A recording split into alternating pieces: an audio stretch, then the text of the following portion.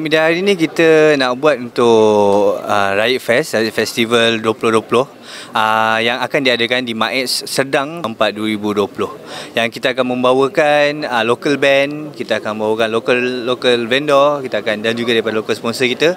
Antara band yang akan perform kita ada Bittersweet, kita ada Toko Kilai, kita ada Salam Music, kita ada Iqbal M, kita juga ada Amanra, Uh, kita ada main act kita adalah Hujan Abang Face dan kita ada di Food Festival kita ada mini stage yang akan dipersembahkan dengan persembahan daripada local band juga yang baru nak naik seperti Fuse Band, Toxic uh, dan lain-lain lagi.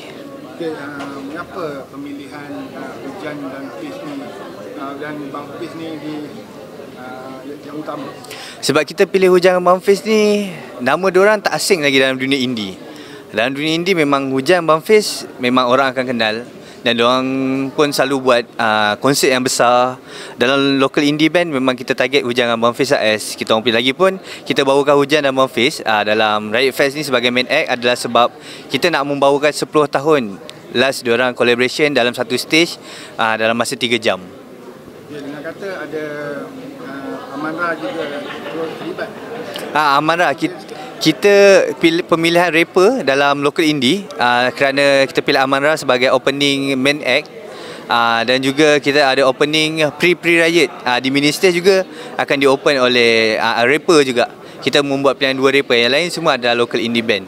Sebab rapper pada tahun lepas uh, hip hop adalah satu budaya yang baru naik. Uh, memang tahun lepas so kita bawa sedikit pada 2020 ni untuk dipersembahkan di Riot Fest. Okay, uh, sasaran uh, pengunjung?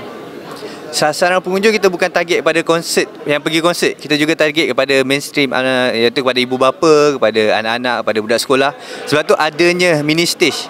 Di mini stage kita ada food festival, kita ada festival, kita ada, akan ada jualan raya. Sebab kita pun ada support by Era Eksklusif. Era Eksklusif akan membuat jualan semasa festival ini berlangsung uh, selama satu hari daripada 10 pagi sampai 10 malam.